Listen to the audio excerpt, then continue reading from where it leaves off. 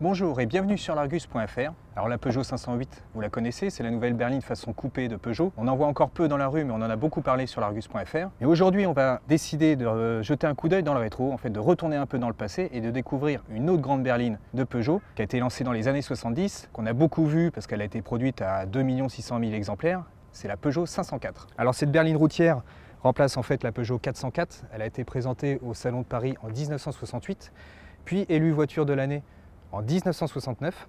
Alors il y a des petits clins d'œil hein, entre 504 et 508. Il y en avait le logo 504 à l'avant. On retrouve également le 508 sur l'avant de la berline. Et aussi une autre petite chose, c'est la petite facette que l'on a au niveau de la malle arrière de la 508. Rappelle en fait la chute assez prononcée de la malle de la 504. Comme beaucoup de voitures de son époque, la 504 arbore beaucoup de chrome.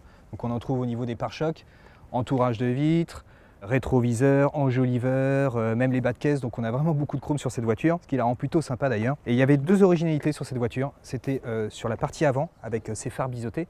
C'est quelque chose qu'on le retrouvera sur les voitures qui suivront en fait. Et puis sur la partie arrière, c'est cette cassure au niveau de la malle, puisqu'on a une malle qui est très plongeante, et ça c'était vraiment original pour l'époque. Alors concernant justement cette malle, il y a une petite anecdote qui est plutôt sympa, c'est-à-dire qu'à la base la 504 devait pas du tout être comme ça. la malle devait être en fait dans le prolongement de la lunette arrière, est beaucoup plus basse, mais tout de même avec une partie bombée. Donc en fait la légende dit qu'ils ont voulu, donc, pour faire cette partie bombée, donc mis euh, soit une plaque de polystyrène ou, de la clé, ont commencé à râper. Mais en fait les personnes du design sont arrivées avant de, que les personnes terminent leur travail. Et en fait ils ont aperçu cette partie biseautée. Et les personnes du design, en fait ça leur a plu, ils ont dit ok, on la laisse comme ça. Par rapport à la 404, la 504 profitait de deux avancées technologiques surtout sécuritaire, puisqu'elle était équipée de quatre freins à disque. Et puis c'était également l'abandon euh, du pont arrière, hormis sur la version L de base. Et les autres versions adoptaient euh, des bras arrière indépendants. Donc euh, au niveau comportement routier, c'est quand même beaucoup mieux. Et donc c'est ce qu'on va vérifier sur la route. C'est parti. Bon, les ceintures. Alors il faut savoir que pas des ceintures en rouleur. Hein. Donc il faut les régler avant pour s'assurer qu'elles sont bien ajustées. Et encore, hein, les premiers modèles n'avaient pas du tout de ceinture de sécurité, ni à l'avant et ni à l'arrière.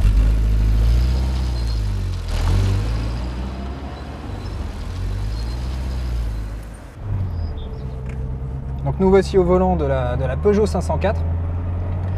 Alors il faut savoir que cette voiture a, connu une très longue carrière, hein, puisque bah, elle a commencé, euh, je l'ai déjà dit, en, 1968. La production s'est arrêtée en 2005, parce qu'en fait elle était très appréciée notamment en Amérique du Sud et, euh, en Afrique, pour sa, sa, grande robustesse et sa fiabilité.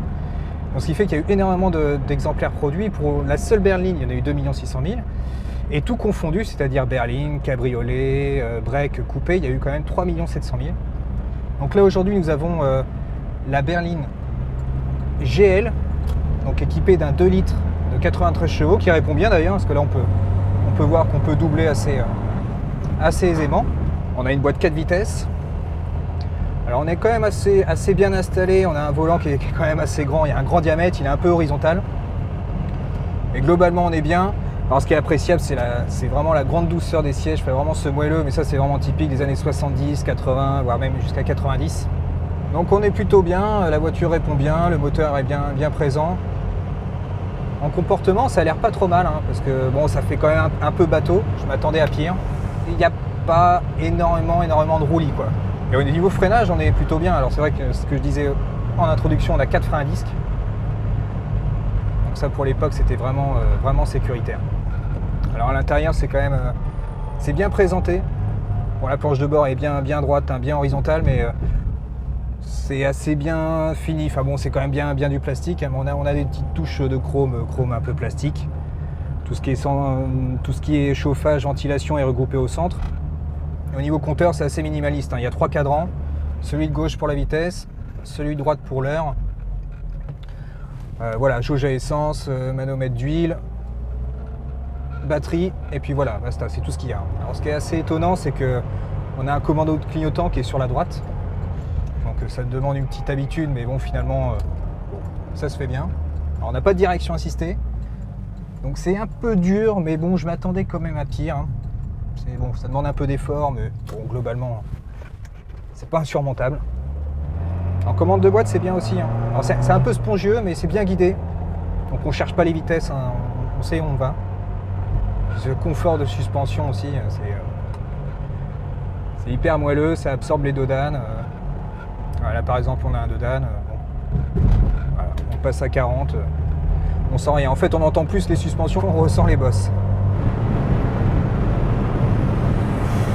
C'est pas très précis quand même, à 90-100 km/h. la direction est quand même un peu floue. Hein. c'est quand même une voiture qui est, de 74, donc on peut, on peut lui pardonner. Alors si on prend plaisir à être au volant de la 504, on apprécie également de voyager à l'arrière. Donc on est bien installé. Alors c'est comme à l'avant, on a une banquette qui est, hyper, euh, hyper confortable, moelleuse, donc on s'enfonce dedans et on est, un petit peu calé. Quoi. On a pas mal de place, notamment pour les jambes, euh, pour les pieds également, puisqu'on peut les mettre, euh, on peut les placer sous les sièges. on en profite également d'un accoudoir. Donc ça c'est toujours sympa. En plus il est bien large. Alors on n'a pas les portes gobelets, hein, mais voilà, on est, on, est quand même, euh, on est quand même très bien ici. Pas de ceinture, hein. déjà qu'il y en a à l'avant, euh, donc c'est déjà pas mal, mais bon, à l'arrière, il n'y a pas du tout de ceinture.